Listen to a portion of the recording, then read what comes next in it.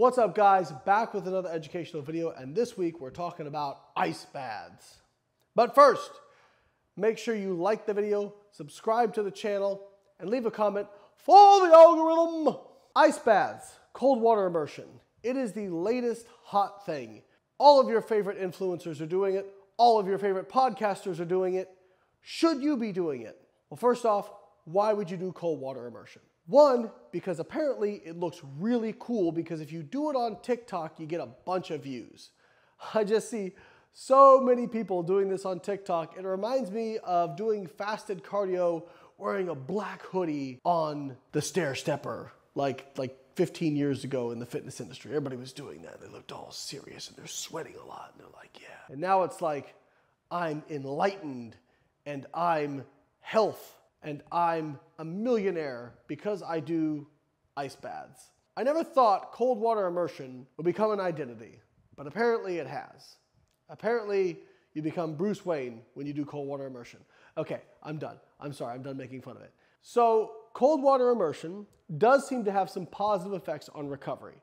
Uh, it reduces inflammation, it decreases delayed onset muscle soreness, and so those things can have a positive benefit for athletes who are looking to recover before another training session. However, we do know that cold water immersion can actually attenuate hypertrophy, meaning it can impede muscle building. Now, you can still build muscle if you're doing cold water immersion, but they do show that you build less muscle doing consistent cold water immersion compared to people who don't. Why is that?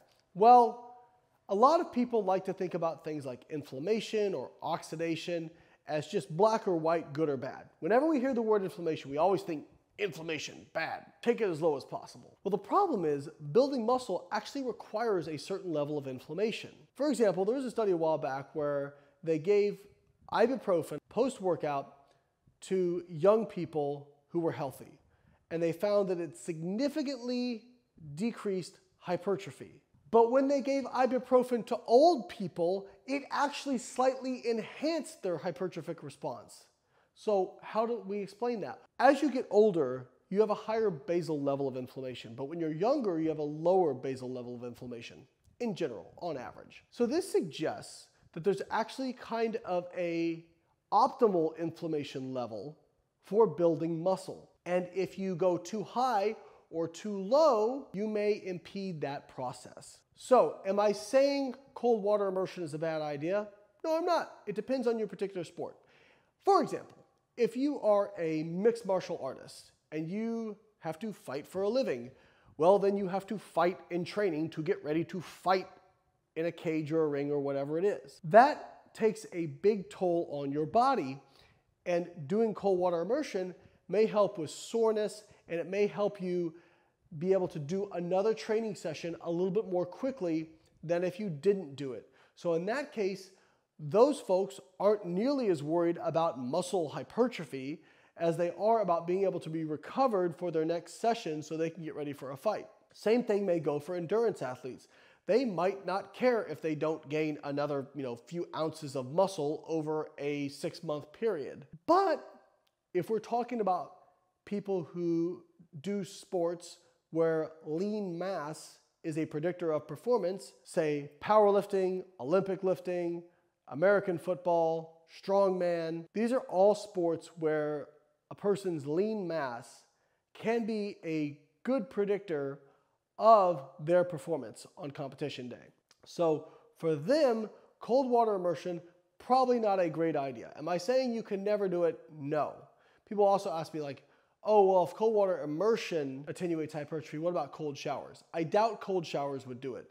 With cold water immersion, your entire body is surrounded by very cold water. That is much different than just standing under a cold shower. Now, am I also saying that as somebody who wants to increase muscle mass, that you can never do cold water immersion?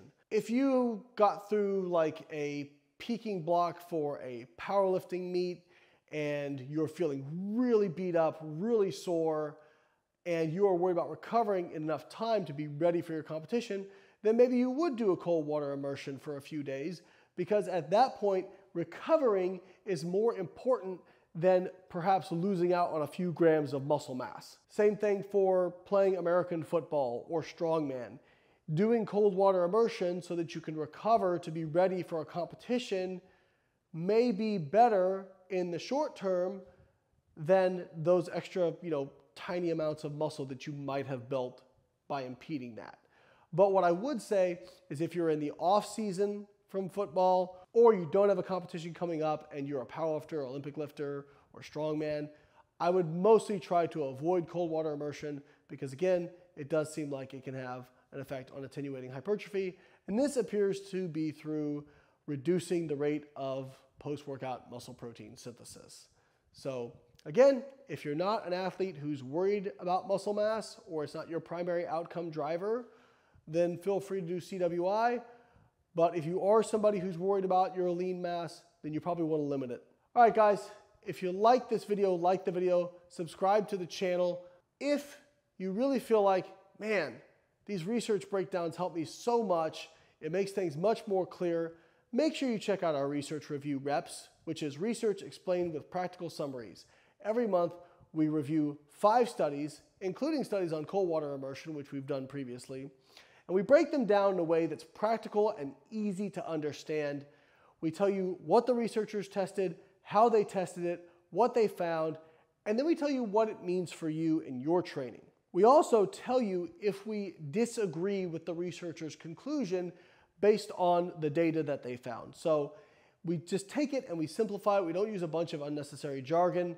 It's a great value. When you sign up, you not only get access to our current issue, but all of our archived previous issues, and you get access to our 50 page ebook, our How to Read Research Guide, which will walk you through step by step how to get some basic skills so that you can read research and understand it yourself.